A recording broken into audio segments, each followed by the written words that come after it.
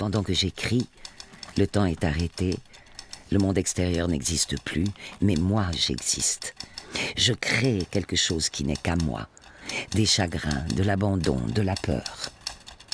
Écrire à non plus pouvoir.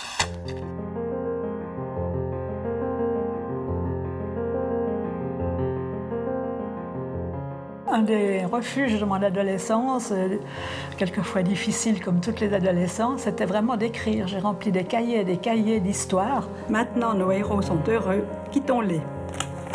Quel âge aviez-vous lorsque vous avez rédigé ces lignes? J'avais 8 ans.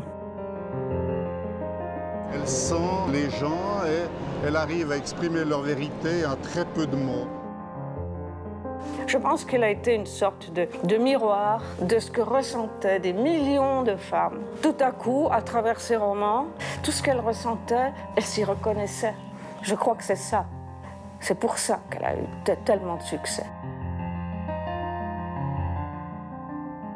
Bien avant les revendications féministes, j'avais l'impression qu'une femme avait le droit d'avoir des, des, aventures euh, aussi bien qu'un garçon et a le droit de disposer de son corps pour employer des expressions qui sont beaucoup plus tard.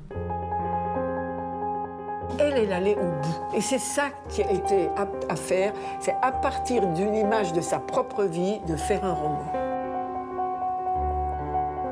J'ai été assez vite frappée du fait qu'en fait on a une seule vie, qu'on laisse de côté euh, toute une série de vies qu'on aurait pu avoir.